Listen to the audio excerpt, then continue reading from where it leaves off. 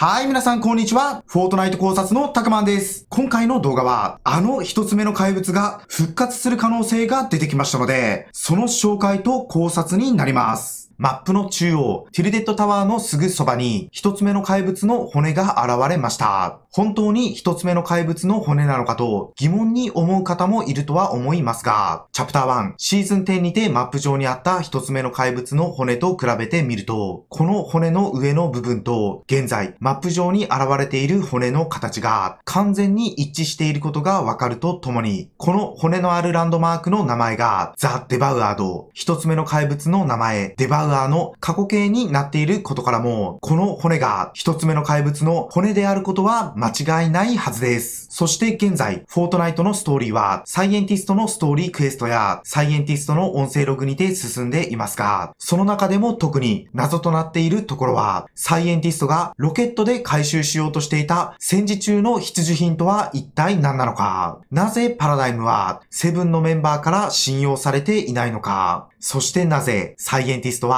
パラダイムの力を必要と言っているのかの？3点となっているのですが、実は1つ目の怪物が復活すると考えると、この3つの謎を全て解決することができるんですよね。まずは、サイエンティストが忘れてきたという戦時中の必需品について、戦時中の必需品、要するに戦争中に必要なものといったら武器ですよね。そして、このチャプター3に現れた一つ目の怪物の骨と、チャプター1にてマップ上にあった一つ目の怪物の骨を比べてみてほしいのですが、決定的に違うところが一つ。そう、それは、あのピンクマロボットが使っていた大きな剣が刺さっていないこと。チャプター1が終わるとき、この一つ目の怪物の骨に剣が刺さった状態でマップが再構築されていますので、一つ目の怪物の骨がここに現れるのなら、ピンクマロボットが使っていたあの巨大な剣も、ここに刺さっているはずです。再構築された時に抜けてしまって、どこかへ行ってしまったとしても、あれほどの大きな巨大な剣でしたので、マップのどこかに落ちていれば、すぐに見つかるはずですが、どこにも見当たりません。この巨大な剣がどこにも見当たらないということは、この巨大な剣こそが、サイエンティストの言う宇宙空間に置いてきてしまった戦時中の必需品、すなわち戦争のための武器なのではないでしょうか。そして、なぜサイエンティストが戦時中の必需品を回収しなければいけないと言っていたかを考えると、あの一つ目の怪物が復活する可能性があるということにつながってきます。そして、サイエンティストがしきりに、パラダイムのことを必要と言っている理由。これについても、チャプター3が始まって以来、ずっと謎になっていましたが、チャプター1にて一つ目の怪物を倒すために、ピンクマロボットを操縦していたのは、シンギュラリティ。そして、そのシンギュラリティとパラダイムは、同一人物なのではないかと、これまで考察してきました。そう、あの巨大な一つ目の怪物を倒すことができるのは、ピンクマロボットを操縦することがができるシンギュラリティ。要するに、パラダイムだけなんですよね。そう考えると、サイエンティストがパラダイムの力を必要としていた理由。そして今後、一つ目の怪物が復活してくるということにも繋がってきます。最後に、三つ目の理由が、なぜパラダイムがセブンのメンバーから信用されていないのか。これまでフォートナイトのストーリー上で、パラダイムが行ったこと、パラダイムとシンギュラリティが同一人物だと考えると、それはゼロポイントの力を使い、ティルテッドタワーをネオティルテッドへと復活させたこと、そしてゼロポイントの力を使い、一つ目の怪物、デバウアーを倒したこと、この2点であり、パラダイムは何をするにもゼロポイントの力を利用しているんですよね。しかし、ここで思い出してほしいのが、セブンのリーダーであるファウンデーションの目的。それは、私利私欲のためにゼロポイントを使っている IO という組織を破壊すること。そして、IO により管理されているゼロポイントを解放すること。ファウンデーションは、IO がゼロポイントの力を使い続ける限り、ラストリアリティのような脅威が襲ってくると言っており、ゼロポイントの力を使いたくない、ゼロポイントを解放したいと考えています。。しかし、シンギュラリティ、要するに、パラダイムがやったことといえば、ゼロポイントの力を使ったネオテリテッドの復活、そしてゼロポイントの力を使っての一つ目の怪物の退治。そのどちらも0ポイントの力を使っているんですよね。0ポイントを解放したいファウンデーションに対し、0ポイントの力を2度も使ったパラダイム。この事実に対し、ファウンデーションは怒っており、パラダイムのことを信用していないのではないでしょうか。現在、フォートナイトのストーリーラインにおける3つの謎、戦時中の必需品とは一体何なのか。パラダイムがなぜセブンのメンバーから信用されていないのか。そしてなぜぜサイエンティストがパラダイムの力を必要と言っているのか。この3つの謎を1つ目の怪物を中心に考えてみると、1つ目の怪物に刺さっていた剣がなくなっており、それが戦時中の必需品であるということ。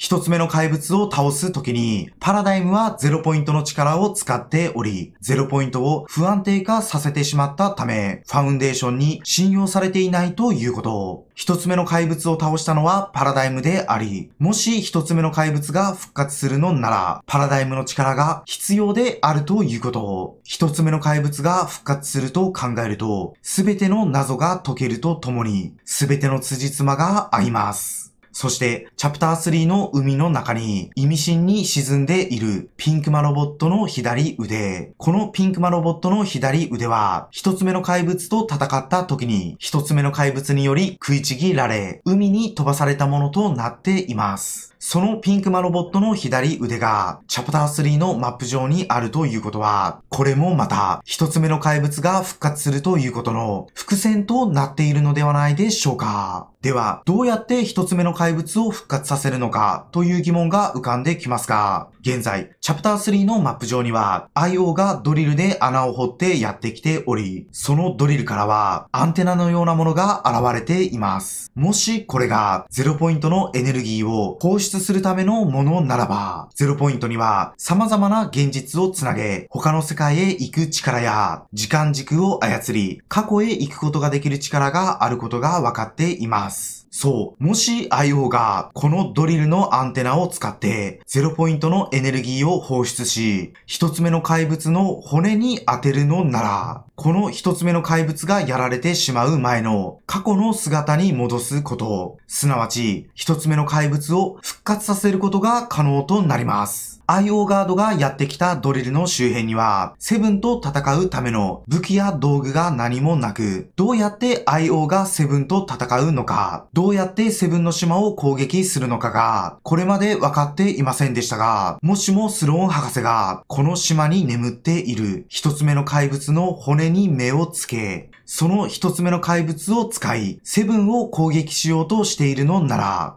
今後、あの一つ目の怪物が IO により復活するという可能性も十分にあるのではないでしょうか。はい。ということで、今回の考察、いかがでしたでしょうか？ティルテッドタワーの復活と同時に、マップ上に一つ目の怪物の骨が現れたことにより、これまで謎だった伏線の一つ一つが、すべて点と点で繋がってきました。チャプター3のマップ上には、かなりの数のチャプター1と関連のあるものがありますので、チャプター1にて起こっていたワンタイムイベントのようなものが、また起こる可能性も十分にありそうです。はい。ということで、最後までご視聴ありがとうございました。またね、一つ目の怪物 VS ピンクマロボットの戦いが見たいという方、そしてチャプター2やチャプター3から始めたけど、あの一つ目の怪物 VS ピンクマロボットの戦いを生で見てみたいという方は、ぜひチャンネル登録、そして高評価もよろしくお願いします。はい、最後までありがとうございました。